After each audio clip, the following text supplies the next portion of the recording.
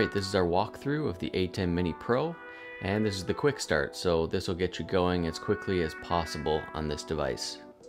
So the ATEM Mini Pro is a live stream encoder and switcher, and you're going to use it to produce video to go to programs like Zoom, or you can use it to live stream to places like Facebook Live or YouTube.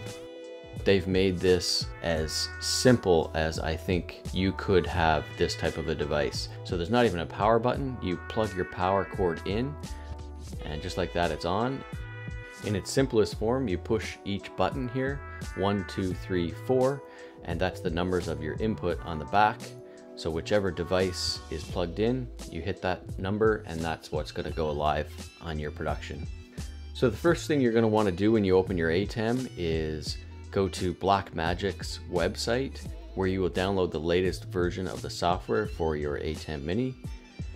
You'll have the option to register your device. Um, and you also have the option to just skip right to the download, which I'm going to do here right now. Once it's all installed, you'll want to open up the software. So you'll need a USB-C cable if you don't have one. USB out marking on the back of the ATEM is where that connects and then connect to your computer. We'll now run the setup software and there's two icons that you can select. So if you don't have to go live right now, this is a great time to update your software. I don't recommend doing an update um, while you're setting up to go live. Software may change from what you're familiar with, or it could take an extended period of time, so you want to avoid that. And there we get the full software control. But we're not going to dive into this right now. You can run your ATEM Mini Pro very simply just from the hardware itself. You've connected your ATEM to your computer, and now we're gonna connect a camera to one of the inputs. So in this case, we're gonna use input one, and we're gonna use input two for a second camera. And then you still have input three and four where you can put more cameras or computers. Maybe you wanna run a presentation off a computer. Over to the right, you'll see there's a mic one and a mic two. If you'd like to run audio from a separate mic, You'll see right next to those mic inputs that there's the mic 1 and mic 2 controls. Uh, when it's lit up red, it's live. So you can turn mic 1 input on or off. There's the arrows which are volume controls just below. To make it even simpler, I like to take the audio from my video signal, usually from video 1. You can see down below here, there's the on and off above input 1 is for the audio for video input 1. So I can toggle that on and off and I can control the volume just below with the arrows. The same with video 2, if I wanted the audio from that, I just toggle it on or off. And they are independent of the video input as you see here. Even if I change the video, I can still have my mic um, going through video 1. On the back of the ATEM, USB out connected us to the computer.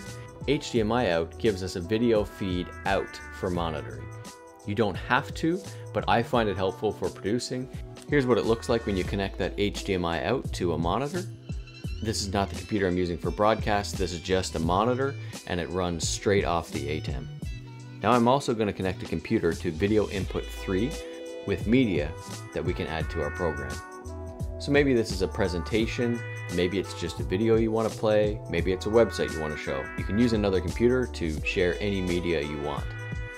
This is what the multi-view interface now shows on this screen. You can see what camera 1 is showing, you can see what camera 2 is showing, you can see the computer on input 3. Of course, whichever one is red is what's live.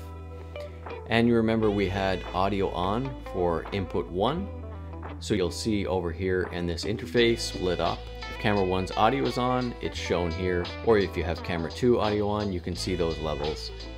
You'll notice that there's a preview and a program window at the top, and both of them show the same thing. Cut bus mode is the setting that your ATEM is on straight out of the box. When you hit an input number, that input goes live. That shot is now highlighted by the red light.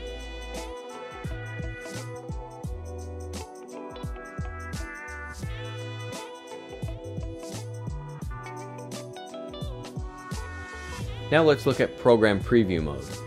Under ATEM setup, let's select the first icon on the left and you'll see that you may have an update available. So I'll do my update later. I'm just going to hit continue for now.